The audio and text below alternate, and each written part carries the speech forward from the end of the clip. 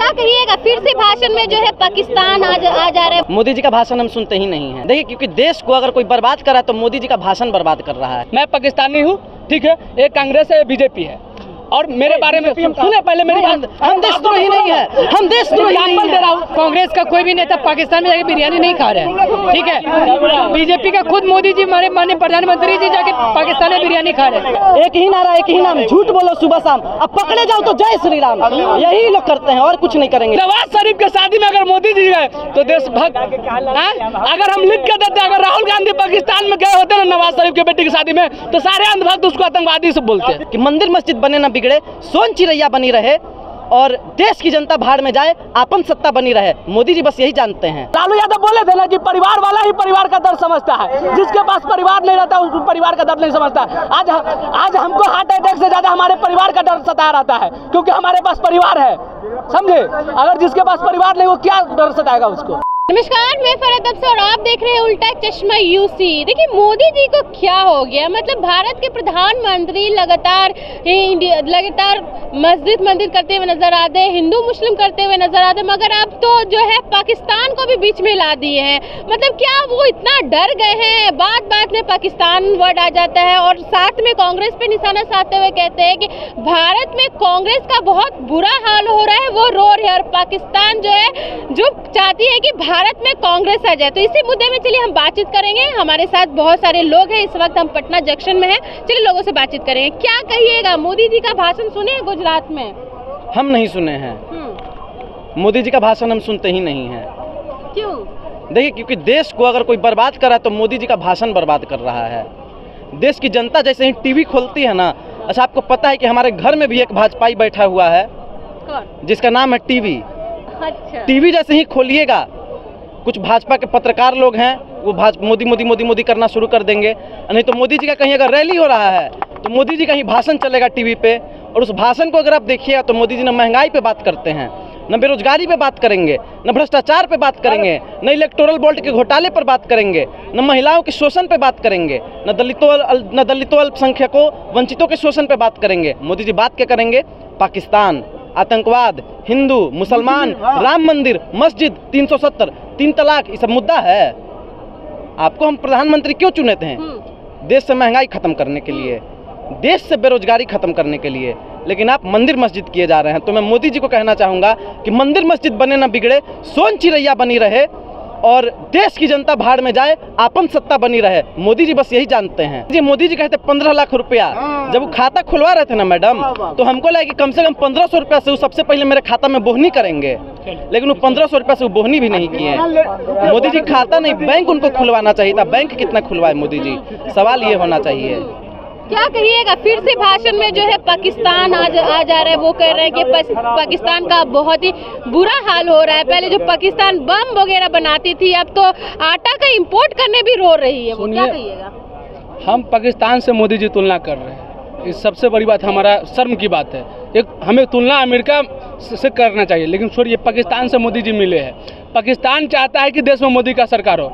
मैं मान लो एग्ज़ाम्पल समझाता हूँ, सबके पास कॉमन सेंस है, देश के युवा समझे, अंधभक्ति में न बोले।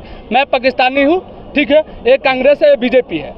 और मेरे बारे में सुने पहले मेरी बात हम देशद्रोही नहीं है। हम देशद्रोही नहीं दे है रहा हूँ। पहले देश के युवाओं को समझा रहा हूँ। मैं पाकिस्तान हूँ। मैं मैं पूरा दुनिया में बदनाम हूँ। मैं आतंकवादी हूँ। ये कांग्रेस है बीजेपी है। मैं सुनिए। मैं बीजेपी नहीं हूँ। मैं बीजेपी नहीं हूँ। मैं पाकिस्तान हूँ। अगर मान लीजिए मानिए लो क्यों मान मैं पाकिस्तान हूँ मैं पाकिस्तान हूँ गुंडा हूँ माफिया हूँ। मैं जिसके भी साथ में रहूँगा वो बदनाम हो जाएगा। एक कांग्रेस है और एक बीजेपी है। सुनिए यार अगर मैं अगर मेरा मन रहेगा कि इसका सरकार हो और मैं इसके साथ में रहूँगा तो बदनाम हो जाएगा तो फिर मैं इसके साथ में रहूँगा। ताकि ये बदनाम हो और इसका सरकार हो। जहाँ भी कांग्रेस जीती है पाकिस्तान जिंदाबाद के नारा लगता है। क्यों? ताकि कांग्रेस बदनाम हो और बीजेपी की सरकार आए। इसीलिए हम बोलते हैं देश के युवा अपना कॉमन सेंस लगाओ। अगर पाकिस्तान चाहता है कि देश में कांग्रेस की सरकार हो तो कांग्रेस जीती तो कभी जिंदाबाद के नारे नहीं लगती, बल्कि भाजपा जीती तब जिंदाबाद के नारे लगती। ठीक है? और इतना कॉमन सेंस नहीं, हम मान लेते जो भी हो। जहाँ गाय मंदिर में कटाता है, वहाँ पर हिंदू क्यों पकड़ाता है? जहाँ गाय मंदिर में कटवाता है, वहाँ हिंदू क्यों पकड़ाता है? हम कैसे मुसलमान को मान ले गलत है? ठीक है? बीफ कंपनी बीफ कंपनी से चंदा लेने वाला हमारा कांग्रेस नहीं है, बीजेपी वाला है। हम कैसे मान ले कांग्रेस गलत है? जब हमारे देश के, हमारे बिहार के तेजस्वी यादव इफ्तार पार्टी में जाता है तो मुस्लिम हो जाते हैं, देशद्रोही हो जाते हैं, लेकिन चिराग पासवान जाते तो उनके जीजा पप्पा लगते हैं तो देश भाग रहते हैं। हाँ ठीक है। हम अपने, अगर हम अपने इंडिया के मुस्लिम से मिले तो देशद्रोही लेकिन नवाज़ नवाज़ शरीफ के शादी में अगर मोदी जी गए तो देशभक्त हाँ? अगर हम लिख के देते अगर राहुल गांधी पाकिस्तान में गए होते ना नवाज़ शरीफ के बेटी की शादी में तो सारे अंधभक्त उसको आतंकवादी से बोलते। सारे अंधभक्त आतंकवादी मोदी जी गए थे बिरयानी खाने तो? हाँ तो देशभक्त है। वैक्सीन वाली कंपनी से बीजेपी कितना फंड लिए वो आपको खुद पता है। और आप जहाँ तक में 52 करोड़। जी। वो बीजेपी कितना बीजेपी कितना फंडिंग ली वो आप लोग के आँख के सामने है। और जहाँ तक दूसरी बात ये रही जहाँ तक जहाँ तक पाकिस्तान की बात रही जहाँ तक पाकिस्तान की बात रही तो कांग्रेस का कोई भी नेता पाकिस्तान में जाके बिरयानी नहीं खा रहा है। ठीक है? बीजेपी का खुद मोदी जी हमारे माननीय प्रधानमंत्री जी जाके पाकिस्तान में बिरयानी खा रहे हैं। एक ही नारा एक ही नाम झूठ बोलो सुबह शाम। अब पकड़े जाओ तो जय श्री राम। यही लोग करते हैं और कुछ नहीं करेंगे। मोदी का विकास पूरा सुनाइए। अरे पहले तो गुलाम होता था अभी मोबाइल का युग है गुलाम करवा रहा है मोदी। अभी मोबाइल का युग है मोबाइल से गुलाम करवा रहा है। मोदी जी हाँ? कांग्रेस खाता भी था खिलाता भी था। बेरोजगारी हटा दिया था। हाँ? अरे सुनो ये पंद्रह आदमी बोल के कुछ नहीं होगा। पंद्रह आदमी बोल के कुछ नहीं होगा। है, देश मेरा है ऐसा भाड़ा वाला है। मोदी हटने चाहिए। हम कहते मनीष सिसोदिया सुनो मनीष सिसोदिया क्या बोले थे? मनीष सिसोदिया क्या कम गलती किया था? केजरीवाल क्या गलती किया था? क्या गलती किया था? सबको जेल में डाल रहा है। मोदी के खिलाफ में बोलेगा उसको जेल में डाल देता है।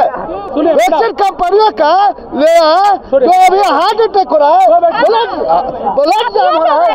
हाँ वैक्सीन तो लिया लेकिन हमारा हट हो गया। समझाए थे ना राहुल गांधी देखिए जब जब बोले थे जब आए थे वैक्सीन आए थे तो राहुल गांधी जब बोले थे कि इनका जाँच कराने के लिए तो चुतिया अंधभक्त को लगा के राहुल गांधी देशद्रोह है। बहुत सारे बात बोले राहुल गांधी इसलिए बोला जाँच कराने की राहुल गांधी परिवार वाले हैं। और जो परिवार वाले होते हैं ना अपने साथ साथ परिवार को भी रक्षा करते हैं। मोदी जी के तो कोई परिवार है नहीं।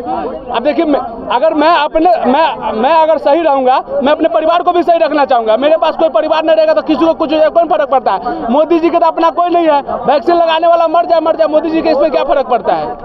बावन करोड़ रुपया चंदा लिए थे। राहुल गांधी का क्या गलती था? राहुल गांधी बोला था कि बस जाँच हो जाने दीजिए। पूरा हो जाने दीजिए। उसके बाद दीजिएगा सबका डोज। अरे राहुल कांग्रेस भी तो लाए थे ना पोलियो फ्री में देख रहे हैं। आज भी अंधभक्तों को भी लगा है तो टेढ़ा उड़ा पैदा नहीं हो रहा है। और मोदी जी का हो गया हार्ट अटैक क्योंकि मोदी जी का परिवार नहीं है मर रहा है तो मरने दो। जिसका परिवार रहता है वो परिवार। हम लालू यादव बोले थे ना कि परिवार वाला ही परिवार का दर्द समझता है। जिसके पास परिवार नहीं रहता उसको परिवार का दर्द नहीं समझता।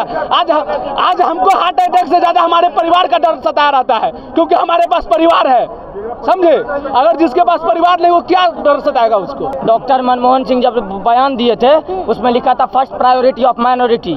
ठीक है? तो उस टाइम उस टाइम जब हम पूछे थे कि बताइए what is the meaning of minority तो बताया था कि minority is not only Muslim ठीक है? वो बताता है minority is not only Muslim लेकिन वहाँ पे सिख ईसाई और अति पिछड़ा को भी डाला था। तो आप बताइए तेलंगाना और हैदराबाद में क्यों डाले मुस्लिम को ओबीसी में?